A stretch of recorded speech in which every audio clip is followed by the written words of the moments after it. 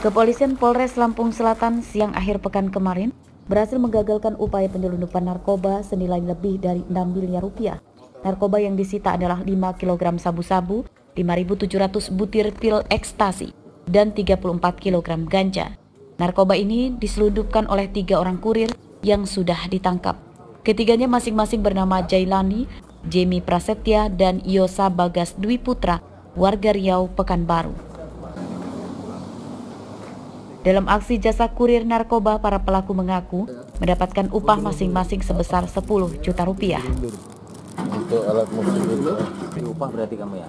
Berapa upah? 10 juta 10 juta. Pakai naik paket apa? Mobil apa? GSL. ISL. ISL Lorena itu ya? Iya, Sering berarti ya pakai jasa paket ngirim gitu.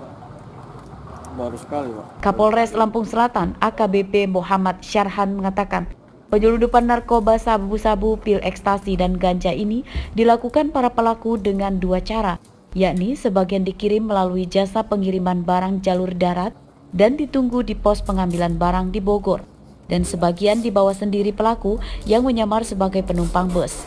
Dalam perjalanannya, narkoba disembunyikan di dalam kardus yang dicampur dengan makanan oleh-oleh.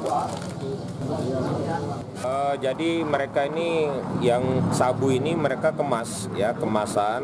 Dan kemasan ini dalam dalam prosesnya barang dikirim. Barang dikirim tanpa didampingin oleh pemilik eh, pemilik daripada barang ini sendiri. Jadi tersangka ini menunggunya di Jakarta. Menunggunya di Jakarta sesampai barang ini sampai di lokasi si tersangka mengambil. Untuk mempertanggungjawabkan perbuatannya, polisi menjerat tiga kurir narkoba ini dengan ancaman minimal kurungan penjara seumur hidup. Polisi masih mengembangkan kasus ini guna mendeteksi apakah para kurir merupakan bagian dari jaringan narkoba internasional atau antar pulau saja. Ari Susanto melaporkan dari Lampung Selatan.